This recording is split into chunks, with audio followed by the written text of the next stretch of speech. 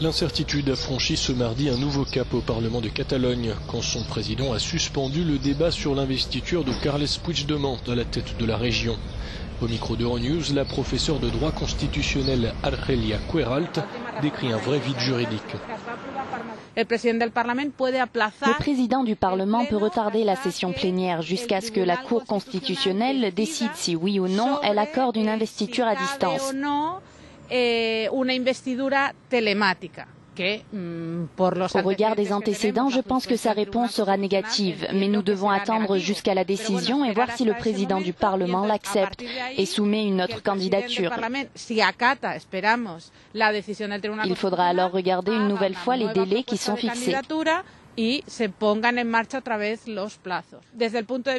point de vue juridico-politique, quand il y aura un nouveau gouvernement, l'article 155 disparaîtra.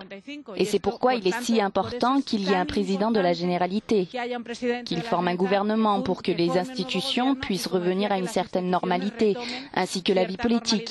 Et cela ne veut pas forcément dire renoncer à avoir un président indépendantiste, mais cela permettra de revenir au cadre constitutionnel et au dialogue politique politique avec le gouvernement central, ce qui est absolument nécessaire.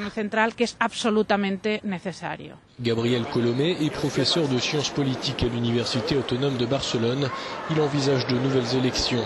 Pour lui, si Puigdemont a décidé de maintenir sa candidature, c'est pour se venger de la gauche républicaine de Catalogne qu'il a poussé à convoquer des élections en octobre dernier. Eh, c'est la première fois que l'on visualise la rupture, la fracture, le divorce entre la gauche républicaine et Ensemble pour la Catalogne, c'est-à-dire entre le parti d'Oriol Junqueras et la coalition électorale de Carles Puigdemont.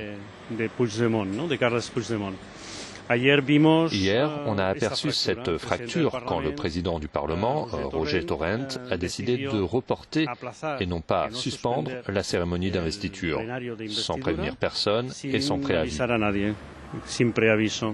Il est devenu flagrant que la relation entre les deux partis est très abîmée las relaciones entre estos dos partidos están bastante o bastante no muy rotas. Si intentaran apartarlo S'ils essayent de l'écarter par la voie du vote, lui peut bloquer ce vote, car il a 15 ou 19 élus qui peuvent s'abstenir de voter pour le nouveau candidat qui ne parviendra jamais à accéder à la présidence.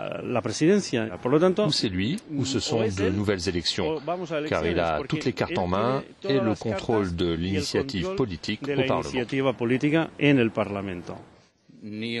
Ce mercredi, la vice-présidente du gouvernement espagnol a demandé au chef du Parlement catalan de proposer un autre candidat à la présidence de la région.